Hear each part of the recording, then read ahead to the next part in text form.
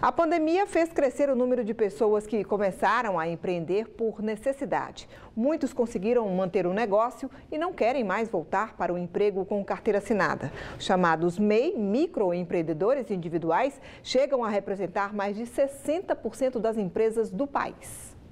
Foram muitos os motivos que fizeram Jaine abrir o um negócio. Ela teve filho, tinha acabado de se formar em publicidade, estava desempregada e a pandemia da Covid-19 tinha começado. Juntou pandemia com a maternidade né, recente, eu me vi sem ter como ter uma fonte de renda.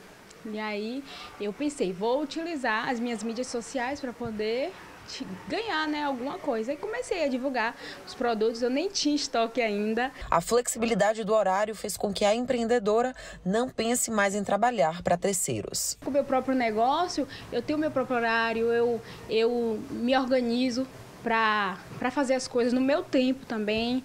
Uma coisa também que para quem empreende e eu não poderia fazer se eu estivesse trabalhando para outra pessoa. Com a crise econômica e a falta de empregos com carteira assinada, o Brasil teve um aumento de pessoas que resolveram empreender. Ingrid adaptou a cozinha da casa e passou a fabricar doces. Ela viu no negócio próprio uma oportunidade de ter uma renda e ficar em casa com o filho. Assim que eu engravidei, né, que eu tive mais tempo para poder ficar em casa, aí eu falei, é, para poder sair para trabalhar vai ser um pouco mais puxado.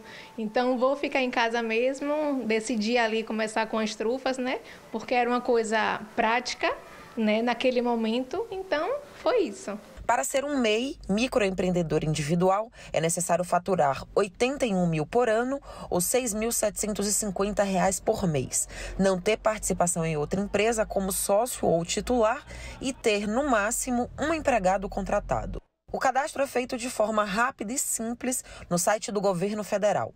Alguns benefícios são oferecidos, como a isenção do imposto de renda e PIS, e com o CNPJ pode abrir conta em banco com acesso a crédito com juros mais baratos. Cerca de 15 milhões de microempreendedores individuais estão formalizados atualmente no site do Simples Nacional, segundo dados do Sebrae. Isso corresponde a 68% das empresas brasileiras brasileiras. A maioria dos empreendedores tem a atividade como única fonte de renda. O desejo de independência é um dos principais motivos para abrir um negócio próprio. E com a pandemia, o cenário se tornou ainda mais realidade. Uma das características do microempreendedor individual é esse empreender, empreender por necessidade, né?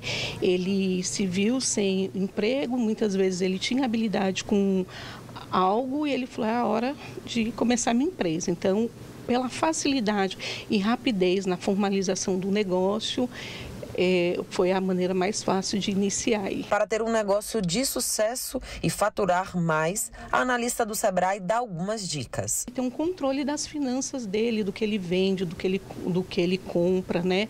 Ele está sempre se planejando, se organizando, buscando se capacitar sempre, né? Procurando o Sebrae para estar. Tá, é, nós temos diversos conteúdos, diversos canais onde ele pode buscar informação, conhecimento sem precisar nem sair de casa.